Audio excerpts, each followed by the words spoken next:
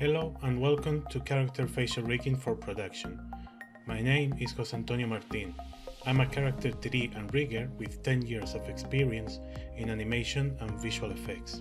I've worked in studios like Framestore, MPC, DNEG and ILM on projects like Gravity, Guardians of the Galaxy, Terminator Genisys, Suicide Squad, Ghost in the Shell, and Venom where I had plenty of opportunities to work on both stylized and realistic face rig setups.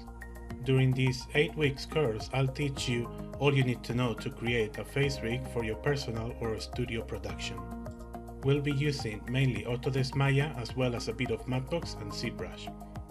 The first two weeks will cover an in-depth introduction about facial expression and FACS, Facial Action Coding System as well as analysis on how to review the model to get an usable topology.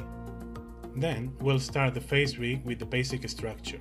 We'll create the skeleton for the main parts like jaw, ears, nose, etc.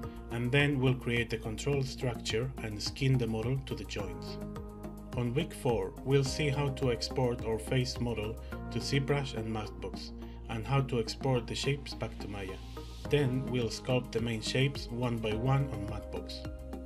The following week we'll learn how to organize the shapes, work on splitting and mirroring the needed shapes as well as how to connect them to our current rig and how to create and control a structure to drive the shapes. Then, once we are done with the shape setup, we'll keep adding functionality week by week. We'll create the eye look at setup, an extra mouth and lip setup to pose the mouth and lips as wanted and we'll also create the eyelid setup.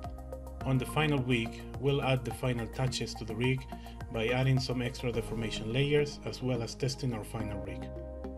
Along the way, I will also show you other possibilities when working on our rig, like having tweakers for eyebrows and lips instead of shapes.